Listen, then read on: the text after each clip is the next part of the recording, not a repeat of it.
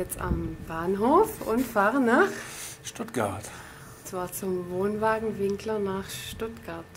Wir holen heute unser neues Wohnmobil ab. Mehr wird noch nicht verraten, erst später.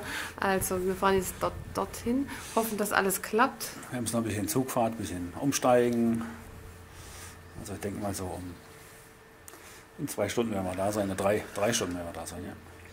Wir haben fünfmal alles gecheckt, dass wir alles dabei haben. Unsere Nummerntafel. Sonst wird's nichts. Sonst wird's Sonst nix. gibt's nichts. Nee. Jetzt müssen wir mit dem Zug wieder heim. Okay, dann bis später. Später. Ciao. Machen wir weiter Fußweg. Oh, es lässt sich schon erahnen, um was für ein Mobil es sich handelt. Mein Winklermobil. Ja, Bürstner. Bürstner. Detlef stehen hier auch rum. Bürstner.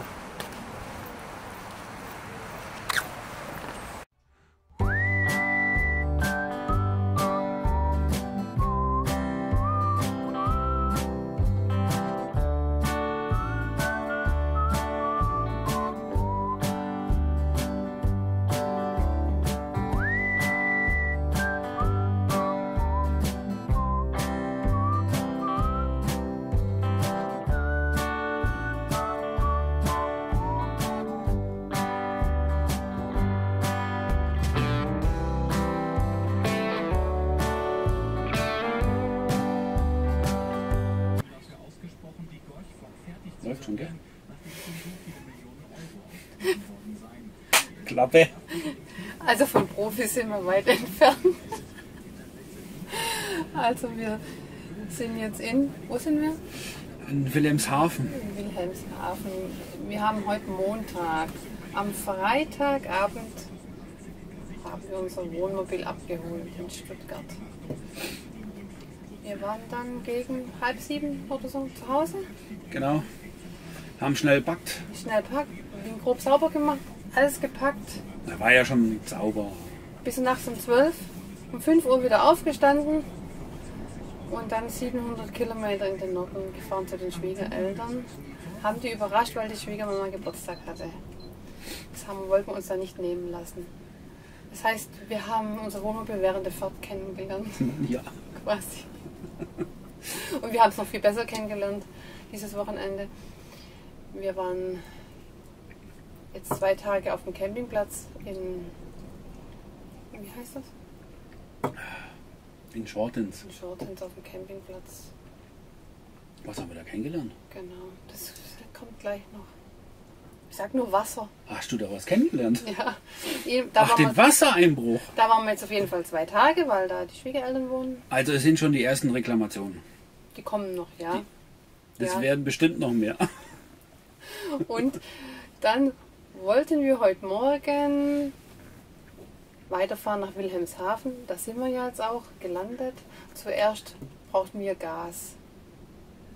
Dann kann man ja so schnell googeln und dann haben wir geguckt, wo kann man denn Alugas tauschen, haben uns ein Beim, beim Fritz Berger Händler, also ein In Leica-Händler, der vertreibt, der Der vertreibt hat Fritz Fritz Berger Berger. Shop in Hochsiel, glaube ich. Hochsiel. Da haben wir unsere Alugasflasche reingetragen. Und dann haben die uns kackfrech gesagt, die tauschen wir nicht um. Ich dachte mal, Alugasflaschen wäre Alugasflaschen. Ja, aber da konnte Aber die da Frau ja, zwei Unterschiede. aber da konnte die Frau ja eigentlich nichts dafür. Die hat bei ihrem Händler angerufen, wo die ja Alugas beziehen und der hat gesagt, nee, also Rheingas Rhein- tauschen wir nicht um. Rheinlandgas tauscht er nicht um. Dann standen Nur. Westfalengas. Genau, der Händler ist Westfalengas und die tauschen nur Westfalengas um, kein Rheingas. Und so standen wir wieder mit unserem Rheingas da, wie doof. Dann sind wir weitergefahren nach ah, Hornbach. Hornbach. Und die haben die Alugasflasche tauscht. War kein Problem, haben wir Alugas bekommen. Auf der Fahrt dahin habe ich zu meinem Mann gesagt, während der Fahrt, hör mal, das hört sich so an, als ob wir gleich nasse Füße kriegen. Immer wenn wir in die Kurve fahren, da macht schwapp und Wasser rauscht. Plätschert. Aber wahrscheinlich hat mein Mann gedacht, die Frau hört schon das Gras wachsen. Wie immer. Aber er hat dann sich die Mühe gemacht und hat dann einmal geschaut und dann standen bestimmt 10 cm Wasser vorne der- links. In dem, hinter dem Gaskasten im Staufach stand 10 cm Wasser drin. Und da wir ja schon eh beim Hornbach, Hornbach waren, habe ich gedacht, jetzt kaufe ich noch ein paar Goldfische. Ja. Dann muss man Nee, das Wasser. Wasser abschöpfen. Mit einem Teller. Das war ja toll. Jedenfalls, Hatte kein Akkuschrauber, da tatsächlich Lochboot. ich habe gedacht, das kann nicht sein. Das kann echt nicht angehen. Wir haben dann bei unserem Händler angerufen. Ich meine, wir sind 700 Kilometer von zu Hause entfernt. Der war wirklich, also haben sich auch ganz viel Mühe gegeben gleich, wollten dann auch gleich helfen, haben dann hier in, in der Nähe in Sande äh, beim Wohnmobil Karthago-Händler angerufen, haben da gleich ausgemacht, dass wir vorbeikommen können. Also es war alles geregelt, das war nicht das Problem. Ähm, und wir sind dann dorthin gefahren und die haben sich das angeschaut. Was hat der gemeint, was da jetzt ist? Und der hat dann alle Klappen nachgestellt. Die lagen anscheinend nicht weit genug an. Ja. Obwohl ich einiges ist das ja Aber komisch. so viel Wasser. Es waren ja nicht nur ein paar Tropfen. Nee, das war so richtig viel Wasser. Es war ja in der Garage genauso.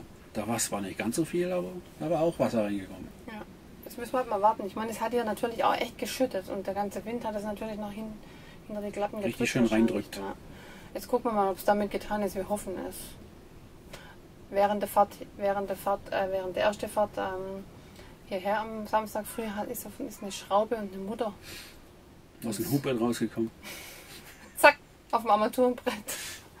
Wir haben gedacht, damit. Habe ich schon viel gelesen, dass das Hubbett von alleine runterkommen soll. Aber Aber das war bis anscheinend. jetzt ist nach oben. Wir haben noch gar nicht gefunden direkt, wo es jetzt, wo es Nee. jetzt herkommt, die Mutter. Aber gut, wenn das alles ist.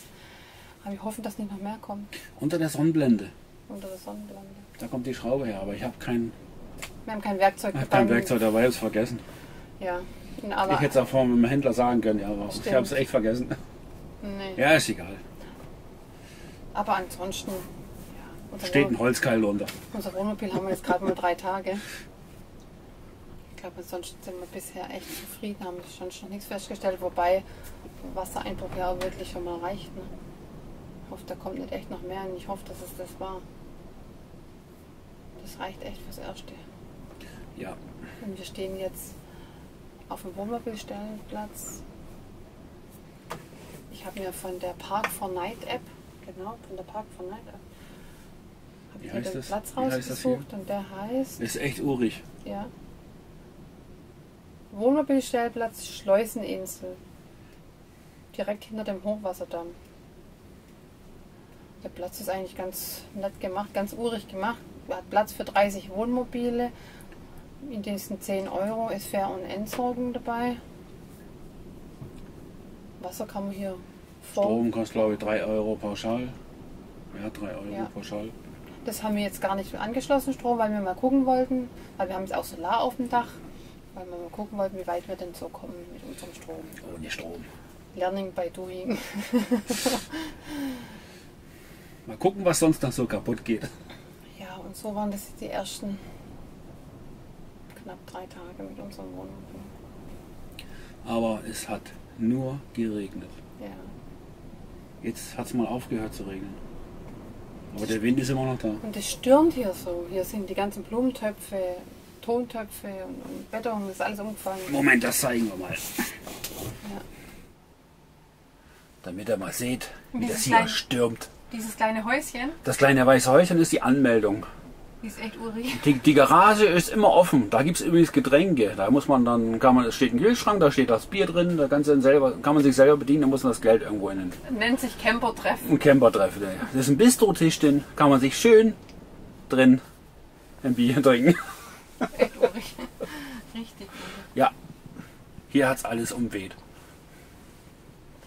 Also ob wir dazu kommen, euch mal den Stellplatz zu zeigen, ich glaube, da wird nichts von. Nee. Das ist ja so ein Wind und unsere Kamera, Das soll morgen noch schlimmer. die Das macht zwar ein gutes Ja. Bild, aber einen sehr schlechten Ton, wie ihr auch hin und wieder schon bemerkt habt. Und wenn es da so windig ist, dann versteht ihr uns gar nicht mehr.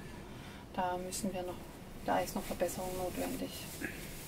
Aber an diese Kamera lässt sich kein externes Mikrofon anschließen und der Wind ist echt der Hammer. Wir haben, wir haben jetzt Hubstützenanlage, aber es wackelt trotzdem. Das ist echt krass. Das ist echt der Hammer. Das ist der raue Norden. Der raue Norden. Der raue Norden. Kann ich froh sein, dass ich die da weggeholt habe. Und da oben laufen welche spazieren, die fliegen gleich weg. Ja, Die, die gehen so. guck mal, wie die stehen. Unglaublich. Das war's dann erstmal von uns, von unseren ersten Tagen im Wohnmobil. Machen wir noch eine Rumtour? ne? Das, wenn das mal gewünscht ist, machen wir auch gerne mal eine Roomtour, ja. Okay, dann machen wir mal. Wenn wir selber überall mal alles rausgefunden haben, wie alles funktioniert mit der ganzen Technik. Wir hatten ja zwar eine Einweisung, das hat auch alles super geklappt. Also die, An die Einweisung bei Wohnwagen Winkler von Stuttgart waren wir echt sehr zufrieden, kann man nicht sagen. Sie eben echt toll empfangen worden. Das hat alles super geklappt. Ganz prima. Jetzt bei der ersten Reklamation mit dem etwas Wassereinbruch hier waren die auch Haben die sich sofort sehr gekümmert? Also ich kann da, Also kann da echt nichts Schlechtes Ja, sagen. also es hat wirklich alles geklappt. Wir mussten jetzt auch nichts bezahlen oder so jetzt hier beim Händler. Es wird alles geregelt. Also Gott sei Dank, wir mussten jetzt auch nie in Vorkasse treten. Die, wahrscheinlich rechnen die das direkt auf mit Karthago ab. Mit Karthago das direkt abrechnet. Denke Ja. Garantie. Es war jetzt auch keine große Sache, denke ich, die Sachen danach zu stellen. Wenn es das wirklich war jetzt, dann kann man ja froh sein. Eine halbe Stunde waren wir schon wieder fort. Ja, Eine halbe Stunde hat es dauert. genau. Okay, Okay. dann danke fürs Zuschauen. Wir würden uns über einen Daumen nach oben freuen und über ein Abo. Ein Abo. Ein Abo. Damit ihr uns erst öfter seht, sehen müsst, sehen dürft, wie ihr wollt. Ciao. Ciao.